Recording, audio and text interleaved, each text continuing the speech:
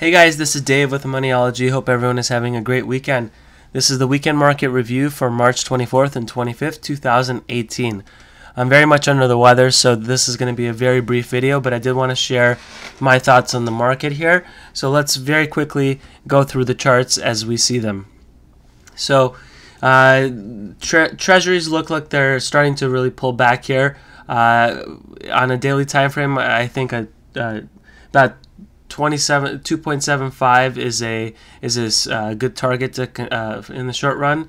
Um, but when you when you look at uh, you look at the MACDs or the PPOs, they're starting to move uh, lower, and the next next logical level of support is this area here, um, as we broke the 50 RSI level. On the weekly, we we broke through 69, so the next support level is around that 61 level uh, which was resistance several times over. And I think that's going to hold. That probably coincides with this 22.7 level here. Uh, so that could be very strong support, but it's going to be interesting to see what happens with PPO. Uh, do we uh, find support around zero and go back up, uh, or do we roll back below zero? Stay tuned. On the monthly, um, I remain firmly bullish on, on the view that treasuries will go much higher this year and ultimately surpass 3%. So uh, any pullback here is a buying opportunity from our perspective. Gold is breaking out here, and uh, that's a very bullish development for gold bulls. PPO on the daily has crossed zero. You got very strong volume, and uh, it looks like it's going to make a run towards 1360 at a minimum, and likely breaks on this uh, this attempt here. Uh, why, why am I bullish? Well, we bounced off a very strong support, multiple layers of support here uh, on the weekly, uh, ultimately bouncing off the 50 RSI level, and now it wants to take out this 60 level on RSI, which I believe it'll do this week. And uh, this is just a very beautiful hammer pattern, and likely touches 4, 1400. It, it might actually touch 1400 next week, so stay tuned. Uh, look at this uh, money flow again here. Uh, volume, very positive developments. Gold on the monthly, it just, like I've been pointing out for a while, it's been primed to break higher. And despite the various different fluctuations above this breakout point, uh, it it's it's setting up, it's consolidating from break above that 60 level on RSI, which is very, very bullish. Uh, junk bonds are breaking lower. And uh, the one thing I'll point out is there there's kind of uh, positive divergence on the daily, which is very interesting uh, because the markets are looking like they want to go lower, but ultimately RSI here is higher than it was when when we were at the same level uh, last time around. So potential double bottom uh, play here may be in store. On the weekly chart, doesn't look as good. It's breaking below the 50 week moving average, and ultimately, I think it, it's going to break lower, ultimately, at some point, testing this 33 level. But that, again, is not a, necessarily a sign that the economy is in, in, in worse shape, but rather potentially interest rates are moving higher, and junk is not as valuable. On a monthly, uh, it finally broke below 70, and now it's uh, testing this crucial 61 level. If that breaks, expect that 50 level RSI to be the next critical line of support. Ultimately, that probably coincides with that 50 month moving average of around 33 that we pointed out. But as I, I pointed out here, uh, PPO is uh, slicing towards zero, and that's a very bearish development. Now we're firmly below zero. Question is how long for? Uh, only time will tell, but ultimately the trade is to the downside uh, in terms of a long-term swing. Crude oil, on the other hand, looks very, very good.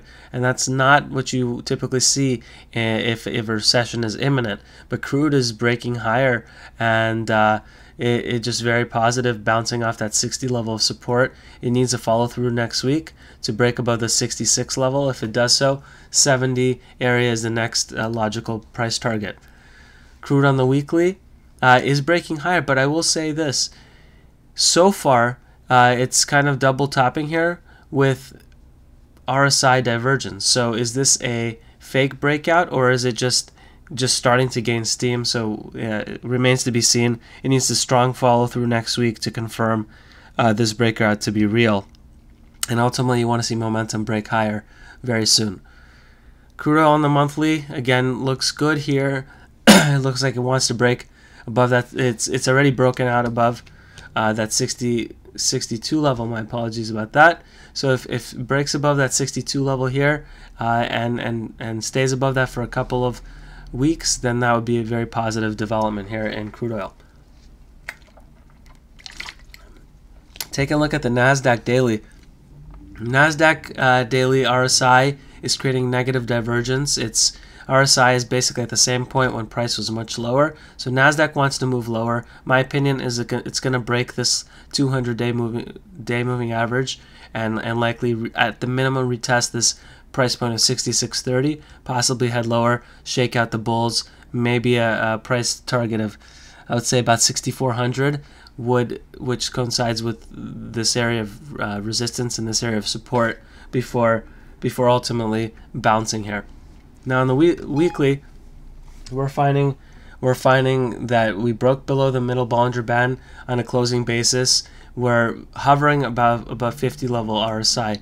Can we bounce here? Absolutely. But I don't think this bounce is going to be sustainable with PPO firmly below zero. I think the next price target is to break below the 50 weekly EMA at 66, 67.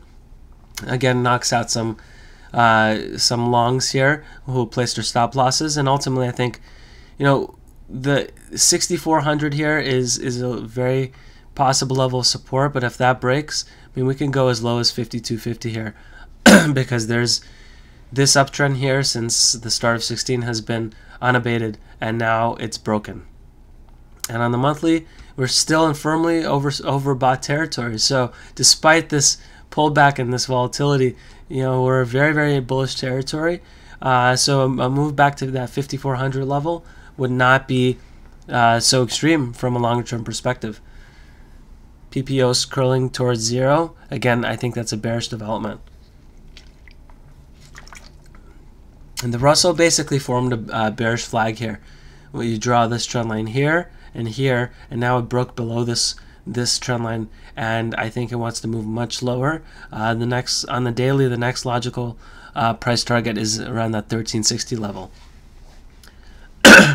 Looking at the Russell Weekly, uh, close the week below the 50 on the weekly RSI, below the middle Bollinger Band. That's very bearish. Uh, so the next logical price target longer term is 12 I'd say about 1280. Uh, it'll find a lot of support there. Um, might might even break just a little bit lower, uh, shaking some weak hands uh, below the uh, the 200 EMA, uh, right around that 1280 level. And on the monthly, we're still in very bullish territory, so this bull market is still firmly intact in my opinion. Uh, but again, bull markets can have 20 30% corrections, so uh, keep that in mind. Uh, it's, it's all about one's perspective. I think ultimately this this may very well pull back to that 1200 area. So a lot of downside potential here. Not saying it's going to happen, but the probability is increasing with every every one of these sharp volatility days, and PPO is about to move below zero. That's not what you want to see uh, in in the short run. Daily on the S&P, negative divergence, double bottoming in price, but uh, not quite there yet, but momentum is already double bottom. So that suggests to us that the price is likely going to head lower. For our, our first real price target on the daily is around that 2500 level. Possibly goes as low as 2450 before finding some solid support. On the weekly, uh, it tried breaking above the 50 RSI level and, and it broke below that. Uh, and so I, or, or rather, it it, um, it, it found support at the 50, tried breaking above the 60, and now closed firmly below the 50 on the weekly, uh, hovering above the 50 weekly EMA support. But ultimately, I think it heads lower. Uh, from a weekly standpoint, 2200 would be very strong support. So, a lot of still a lot of support, but I think ultimately the major point is that it wants to move lower in the short run. On the monthly basis here, it's still firmly in bullish territory. So that 21 to 2200 level is one that I really want to see uh, ultimately targeted in this if this move is, is a genuine correction. Uh, the dollar, I'm not sure what if this is accurate, but that's a huge volume uh, spike on the UUP, uh, on the USD. Again, I'm not sure if that's accurate, but um, looks like it wants to move lower here on the daily. Looking at it on the weekly, it, it, can't, it could not break a, that 38 level uh, and almost like a shooting star candle here. It looks like it wants to move lower. I pointed out that I think we'll see 80 before we see 120 again. And the US dollar monthly here, again, as a, as a, as perspective, if it breaks below that 87.50 area, which I think it might do as early as this week, that'll be extremely bullish for gold and commodities and very very bearish for the US dollar. Uh, the VIX is firmly breaking out here. I've mentioned this before, uh, pointed out multiple times. Uh, PPO is very strong, corrected, found support on the 200 day moving average, and boom, starts taking off here. Same thing on the weekly. Uh, it looks very strong and looks like it wants to move much much higher. And on the on the monthly, it's the strongest of all uh, the charts. I think ultimately before this correction is over with, I think this 89 level is going to be tested, uh, which is basically the high in 2008. So this can go much much higher. There's much potential in the weekly. And uh, finally, the world world charts. Uh, emerging markets look very weak and it, they look like they want to move lower. Ultimately, I, I can see this 1800 level being tested uh, on the day on the weekly and on the monthly. Uh, reasonable level of support is, I would say, around that 1750 area. So some significant downside ahead in the global markets and expect volatility uh, in the coming months months ahead, guys. Uh, if you appreciate these videos, despite being sick here, I wanted to uh, share my, my thoughts and views, so I hope you appreciate them. And, uh, you know, please check out our, our page at patreon.com forward slash moniology and please pledge your support. Even a dollar goes a long way towards helping us reach our $1,000, $5,000, $10,000 goals. Thanks, guys. Have a great week.